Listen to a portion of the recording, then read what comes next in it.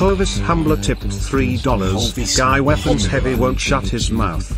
He's already made a response video to your threats last stream. 105 lies of yours to the Um, world and will expose your fraudulence. He Why came into my recommended stopping? again. Probably because I, I didn't forgot to say. Hovis. I just said he popped into a, like my algorithm before. There was no threats. All hail Guy shut. Weapon. He's very dramatic. And his list of lies, I had a little look through his list of lies and stuff like I wanted to open a cafe. You know. That's not a lie, man. You can want to do stuff, but it not happen. Oh, are you sure about that? You sure? Up early to go and view a shop premises today. It'll be a place of my own, and I really need that. Just looking at the funding at the moment, but I think it's going to be a bloody goer.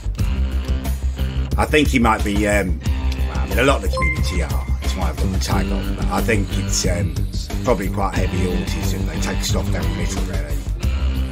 I do find it funny how the old man is basing his accusations of me on a video where the spirit of his dead uncle is possessing his body to expose his lies yet I'm the one who's taking things too seriously. Why is that not stopping? Oh, probably because I've got to say, so, Callum Adams. Man the hell up, you little pussy.